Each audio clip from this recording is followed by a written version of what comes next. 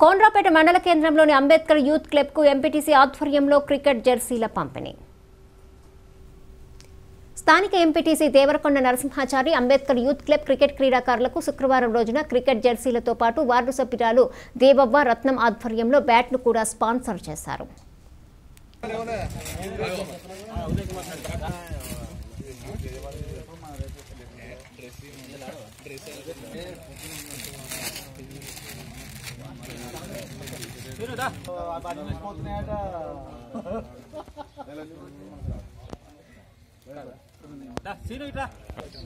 ఇచ్చిండ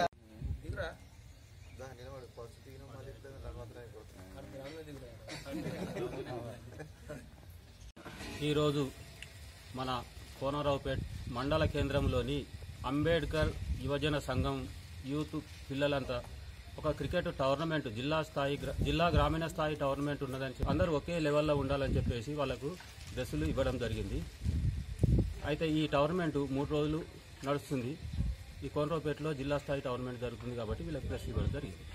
పేట Ambedkar city club తరఫున మా ప్లాన్లు ఉదయ్ కుమార్ ప్రవీణ్ వీళ్ళందరూ కలిసి ఎంపీసీ గారి దగ్గరికి పోయి మాకు చేయడం పదమూడు మందికి పదమూడు మందికి పదమూడు డ్రెస్సులు స్పాన్సర్ చేయడం జరిగింది.